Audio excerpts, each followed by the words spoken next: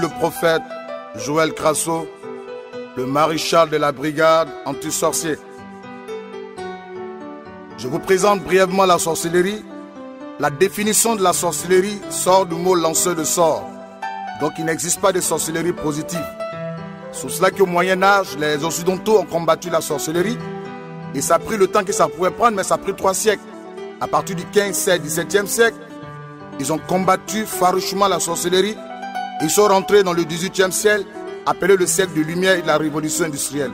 Donc comprenez-vous qu'ils ont détruit les ténèbres en combattant la sorcellerie et sont rentrés pleinement dans leur siècle de lumière.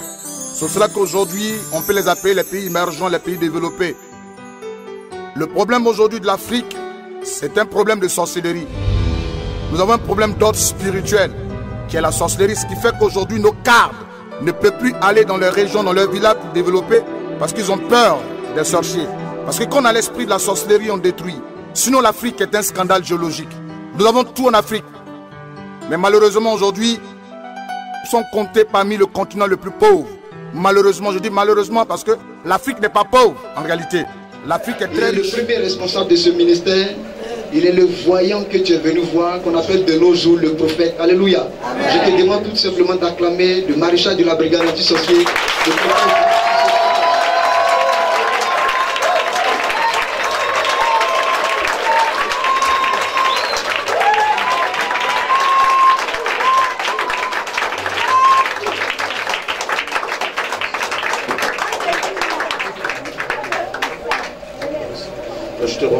Thank you.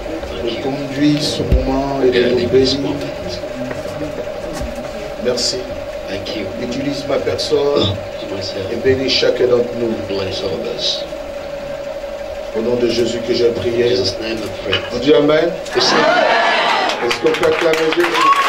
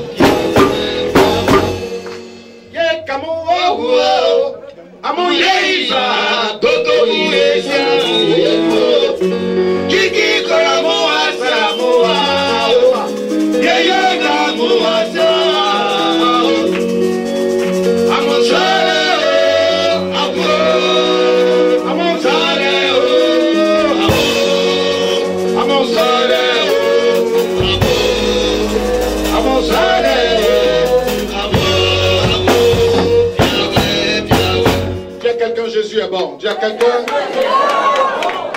Dis à quelqu'un, Jésus est bon. Est-ce qu'on peut l'acclamer